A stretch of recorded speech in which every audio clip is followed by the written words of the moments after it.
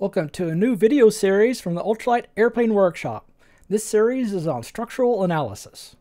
This particular video, though, is talking about understanding the compression loads in tubes. So we're not going to do calculations on how to determine the compression loads, although we're going to do that a little bit. It's really in deciding how to select your tube diameters and your tubing materials to get the compression loads that you want. Now this video series came about very similarly to how the aero terminology video series came about. Now in the videos for the UWS 4 ultralight airplane, where we're starting to do structural analysis and structural design, I'm going to be referring to a number of terms and analysis techniques fairly frequently, fairly commonly in a lot of videos.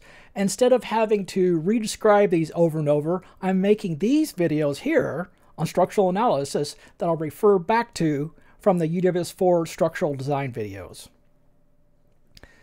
Well, I was working on one of the videos on the UWS 4 structural analysis of structural design using Dan Raymer's book like we've been doing all along. In chapter 7 of Dan's book, he mentions that a steel truss fuselage can weigh about 80% more than a very similar equivalent aluminum truss fuselage. Now, another book that Dan mentions by Tom Rhodes called Stress Without Tears, Tom also mentions basically the same thing. Steel truss fuselage or steel truss itself will weigh more than a similar aluminum truss. Now Dan doesn't go into why this is true. So I wanted to make this video to cover a little bit about why this is true. Now there's something interesting about tubing in that when it's in tension, the load limit of that tube is directly related to the tensile strength of the material. But when that tube is in compression, things are very different. In compression, at least for long tubes, and I'm not really going to define what long is here, but in long tubes, it's very different. For long tubes, it's the diameter of the tubing and the elasticity of the material that the tubing's made out of. It has almost nothing to do with the compression strength of the material or the shear strength of the material. Now here's the only page where we're going to talk about an equation here, although we're not going to do the calculations. We can calculate the load limit of a tube using Euler's column buckling equation. And that's this equation right here. There are four different conditions of the endpoints of the tube that we can use in this calculation. So let's talk about it over here. So the first one, which is this n number here, those are the four conditions that we can put in here.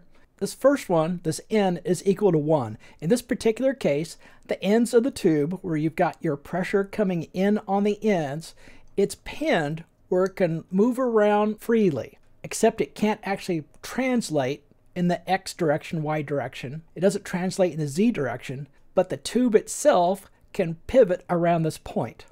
Now the n equal 4 condition is where you could think of it as being welded to a rigid plate. So the tube right here at the very end can't move at all. It can't pivot like on the pinned condition over here. The next condition we'll talk about is this free end. So it's basically fixed down here on the bottom, just like over here in n equal 4, but the other end can move around, it can wobble around freely. So that is n at 0.25, 1 quarter. Now there's another condition for n equal 2. In that case, you have one end pinned and the other end fixed. So that's what this n is here in this equation. The next thing is pi. You probably all know what that is, 3.14. It has to be squared. This e here is modulus of elasticity. And probably the simplest way to think about this is it's the stiffness of the material. Next one is moment of inertia. For tubes, it's easy to calculate. There are lots of good locations on the web where you can find out about moment of inertia, and I might even do a uh, structural analysis video on that. I'm not sure. And then it's all divided by the square of the length of our tube. Now let's talk about what buckling is. Now you can kind of see what it is from over here on these diagrams. Essentially, your tube starts bending roughly in the middle, although it doesn't have to be in the middle. And then eventually it's going to fracture or crumple. And as you can imagine, look at these end numbers. If you have a fixed end tube, it's going to be able to handle four times the load of a pinned end tube, everything else being equal. It's where we have a welded fuselage, like on a steel truss fuselage. It's not going to be pinned, but it's not really going to be fixed either. And that's because that weldment can rotate just a little bit because all the other tubes in here can also bend just a little bit. So it's not exactly fixed, which means our end would be somewhere between 1 and 4. If you wanted to have a little bit of safety factor in there, I would imagine 2 would work pretty good. If you want lots of safety, go ahead and use 1. And so your tubes will be overbuilt. They'll be able to handle far more load than they need to, but you won't design a weak tube. But I would not use 4, that's too high you probably won't have a strong enough structure in compression if you use 4. Well, now I'd like to try to get us to have a more intuitive feel for how the diameter of the tube affects the load that it can handle, the compression load. Now the example I'm going to use is n equals 1, so it's pinned on each end. And I'm going to use some standard diameters and thicknesses for tubes, for at least 4130 steel tubing that you can typically find for airplanes. It's going to be 31 inches long, and I'm going to pick some dimensions that will give us about the same weight. So our first tube, our bigger diameter tube, is going to be 5 eighths of an inch in diameter. That would be this one down here. The smaller diameter tube is going to be 3 eighths of an inch in diameter. So it's going to be this one here. Now I'm going to use fairly standard wall thickness for tubes for fuselages and that's going to be 35 thousandths of an inch. So it's a fairly thin wall thickness. Now in order to keep these tubes the same weight so we can have a fairly fair comparison, I'm going to use 65 thousandths for the smaller diameter tube. Once you take the diameter and thickness together, we can calculate the weight for a 30 inch tube, and they're pretty close the same. Actually, the smaller diameter tube is just a little bit heavier, within about 5%. Now, that means that they have roughly the same cross-sectional area, the, the steel cross-sectional area. That also means then in tension, we're actually pulling the ends of the tube instead of pushing together, that they're going to have roughly the equivalent amount of force that they can handle in tension. So if you're only thinking about tension load, it wouldn't really matter which of these tubes you selected. Now there'll probably be some other factors to consider, but at least in tension, either one of these tubes will work roughly equally well. But what about the compression loads? Well, I've calculated the compression load down here using that Euler formula we just looked at. The compression load that the large diameter tube can handle is 850 pounds. The compression load that the small diameter tube can handle is 240 pounds. So the large diameter tube can handle more than three times the force of the small diameter tube, even though they weigh the same. Well, that's pretty impressive. Now these are tubes using the same material the 4130 steel. But what about if we use different materials? How are they going to compare?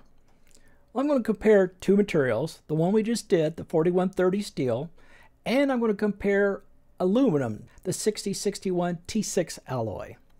And I'm going to do two different tubes of aluminum. So I'm going to still use the large diameter steel tubing that we just looked at. So this column will be identical to the one we just looked at. Well, let's look at an aluminum tube that has the same dimensions. So it's going to have the same outer diameter and same thickness. And so that'll be a direct one-to-one -one comparison of what the material itself will do. So you can see here, it weighs about a third of the weight of the steel. So the amount of compression load that the aluminum tube can handle, same dimensions, is about 35% of what the steel tube can handle and that's strictly due to the modulus of elasticity. The aluminum has, oh, roughly a third of the modulus of elasticity of the steel, so it's not as stiff as the steel. Up here in this equation, it's very similar to the way the N works, the E works the same way. So if the modulus of elasticity is a third of another material, that means the load that it can handle for an equivalent tube is going to be a third of the other material. So that's what we're seeing here. So this ratio here will be identical to this ratio here. So you can't do a one-to-one -one replacement of aluminum for steel. But what if we increase the diameter of the tube? Let's look at this column here. So here I've made the diameter 7 eighths of an inch, so compare that to 5 eighths of an inch. I've kept the thickness the same though. So let's look at the weight. So the weight is increased quite a bit since we're using a larger diameter tube. Now it's still less than half of the steel weight. But what about that compression load? What can it handle? Well, it's more, just a little bit more than the steel. So this aluminum tube weighs less than half of the steel tube, but it can carry slightly more load than the steel tube could. the largest contributing factor to the strength of these tubes is the diameter. Next is going to be your modulus of elasticity. So if we go back and look at what brought this video about, this claim by Dan and by Tom that an aluminum tubing truss structure weighs less than a steel tubing one is verified by the calculations we just did. Well, I hope you found this video helpful, and I'm going to be referring to this video in other videos when we're doing analysis on the UWS-4 ultralight airplane. Thanks for watching. Until next time.